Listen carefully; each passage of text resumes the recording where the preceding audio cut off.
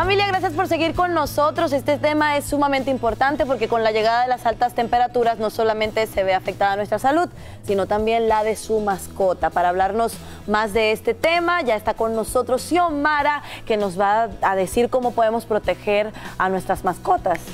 Eh, bueno, gracias. Este, muy buenos días. Eh, yo les cuento algo. Estamos muy preocupados por el tema de los calores o el calor intenso. Eh, los seres humanos lo que estamos pasando en muchas partes del país, pero los animales también importan y pueden sufrir de lo que llaman un golpe de calor. Por eso quise prepararles este reportaje para que entendamos cuáles son las precauciones que debemos tomar en torno a nuestros animales y estos climas tan súper, duper caliente, como diría yo. Aquí estamos.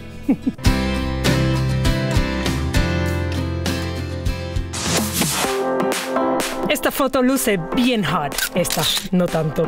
Pero volviendo a la primera, luce muy hot. Y no es por el muchacho, sino por las altas temperaturas que tienen al perro con la lengua afuera.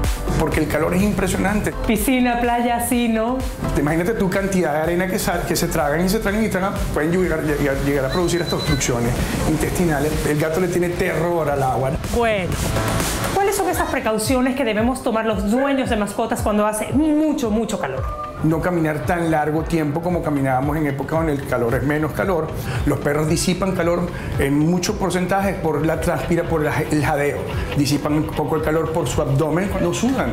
Uno de los riesgos más significativos y más comunes es el llamado golpe de calor. Ponerle en, el, en la parte del abdomen toallas frías, eh, ponerle con sus patitas alcohol quizás un poco. A ver, estos golpes de calor suceden y aunque no hay una cifra exacta de cuántos animales mueren en el país por exceso de calor, se estima que son cientos. Quizás por eso en 11 estados es legal romper el vidrio de un auto para liberar a un perro de un posible infierno, protegidos bajo la ley buen samaritano. Los niños humanos y los perros no se mueren unos minutos que lo dejen ahí trancado. Así que imagínate un animalito chiquito. Eso sí, no es como que rompen el vidrio y estarán en la primera página de los periódicos como un héroe. Si no lo hacen bien, pueden estar aquí. Asesórense bien para romper el vidrio respaldados por la ley. Si ven a un perro, a una mascota, casi derritiéndose de calor en un auto apagado y encerrado, donde las temperaturas aumentan 20 grados en tan solo 10 minutos, deben documentar toda la evidencia. Luego asegurarse de que el dueño no está en los alrededores, llamar a la policía, no forzar la entrada al auto más de lo necesario, salvar al animalito y quédense ahí hasta que las autoridades aparezcan. Para la señora Pelagia, el golpe, más que de calor, sería emocional si al que considera su hijo le pasa algo dentro de un auto desatendido.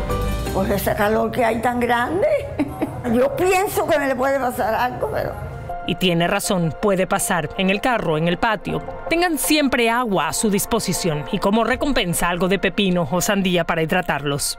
¿Son seguros los bloqueadores solares para mascotas?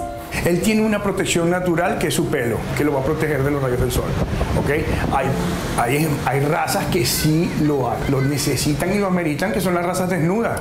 Y sigan el ejemplo de los que saben, él y ella. Lo de la lengua está bien que quede por fuera por un ratico o solo para la foto. Bueno, ya poniéndonos serio, porque eso es la lengua afuera, bueno, es para representar, por supuesto, el calor, pero quiero enfatizar algo que es muy importante, Francesca, que es la ley Buen Samaritano. Tienen, por favor, que investigar si aplica en su estado, en su comunidad, porque las leyes, como saben, cambian en todas partes, así que pues ahí se las dejo, importante. Ahí está, no olvide proteger a sus mascotas, ¿eh? cualquier descuido puede ser fatal. Muchísimas gracias, Xiomara. Vamos a hacer una pausa y al regresar tenemos sin rollo hablar de todos los temas que les interesan. No se vayan.